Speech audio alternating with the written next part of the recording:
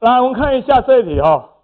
来，他说有甲乙两家，好吧，有两个家庭，四个大人，四个小孩。所以说，两个家庭当中有四个大人，四个小孩，总共八人到中东京自由行。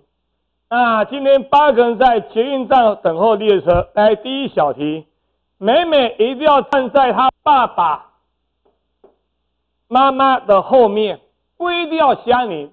换句话说，美美必须要排在爸爸他的爸爸妈妈的后面，对吧？但问题是，三个一定要在一起吗？不一定，这样行不行？所以说，这种是指定顺序还是指定位置？指定顺序。我指定美美顺序一定要在爸爸和妈妈的后面嘛？所以说，你就想象一下，这时候有爸爸，有妈妈，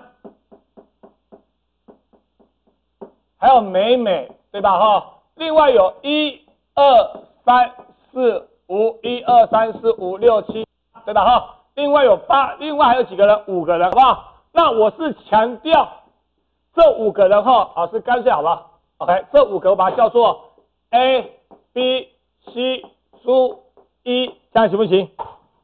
各位可以哈，所以说是总共八个人嘛，哈，这时候美美必须要排在他爸爸妈妈的后面。所以指定美美和爸爸妈妈的顺序嘛，可不可以？老师讲过，指定顺序的题目怎么做？麻烦你先把这些视为什么相同物，这样行不行？先把爸爸妈妈、美美视为相同物，这样行不行？好不好？三三或是三个不管，好不好？把它视为相同物，行不行？所以说总共有一二三四五六七八八个排列八阶。这三个一样，三阶行不行？排下去之后，好不好？老师问你，这三个是一样，之后麻烦你按照爸爸妈妈和美美题目要呃要的顺序把它排进去。其中老师想请问一下，美美一定要排在爸爸妈妈的后面，所以美美只能排这个位置。所以说，告诉我其中一种行不行？之后再搭配。爸爸妈妈可以坐前面两个位置，那爸爸在前还是妈妈在后？你在乎吗？是不是都可以？换句话说，爸爸妈妈这两个位置可不可以互换？可以，二阶是不是就好了？可不可以？可以哈，OK。所以说，像这种指定顺序的，我指定爸爸妈妈和美美三个人顺序，所以说把这三个人先视为相同物，所以八个排列八阶，这三个一样除以。三阶，再按照题目要顺序下去排，每每坐这三个位置，最后一个其中一种，爸爸妈妈坐前面这两个位置几阶？二阶。所以说你去算一下好不好？算算是一三四四零，这样行不行？这第一小题的地方，第二小题，他说有一个叫珍珍与轩轩，这两个一定要站在一起，而且首尾一定要排大人。问你这八个人有几种排法？来听，所以大人有几个？有四个，所以要排大人嘛。所以说有大人一、大人二、大人三，有大人四，对吧？在外加还有谁？还有珍珍和什么轩轩，一定要排在一起。那另外两个小朋友嘞？我另外两个小朋友嘞？另外还有两个小孩嘛？行不行？我把它叫做小一。小二好不好？小人一，小人二，行不行？所以说题目说嘛，有四个大人，有四个小孩嘛，可不可以？可以哈。他说珍珍和轩轩，对吧？哈，这一定要排在一起，行不行？一定要站在一起嘛。那首尾要排大人，行不行？所以说这时候把八个人分成大人一、大人二、大人三、大人四，珍珍、轩轩，另外两个一定是小孩嘛，小一、小二。那其中珍珍、轩轩一定要。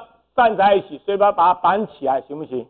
绑起来之后，告诉我剩下 one two three four five six seven，剩下几个个体排列？七个个体排列，七个排列之后，麻烦你，你就画七个位置出来，这样行不行？好不好？OK，老师为什么要画位置出来？一二三四五六七，多画一个，对吧？哈。所以说，麻烦你画七个位置出来。为什么要画七个位置出来？会把七个位置出来之后，你才知道哪个位置是首，哪个位置是尾嘛？你才知道首尾。所以说，你看一下这四个大人要挑首尾两个位置来做。换句话说，从这四个大人当中挑几个出来？两个。从四个大人当中挑两个，一个做首，一个做尾。所以方法是题，彼得四取二，这样行不行？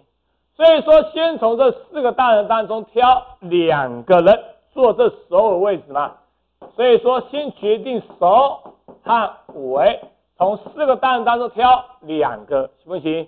比如说，这大人二坐这边，大人一坐这边。好，两个人坐进来之后，剩下 one two three four five 五个客体坐一二三四五，剩下这五个个体做这中间这五个位置几阶？五阶四角了。最后不要怀疑。真真轩轩这两个可不互换？可以，再把几阶？二阶，这样行不行？好，你再把它乘开来，好不好？算出来自己？二八八零，这样行不行？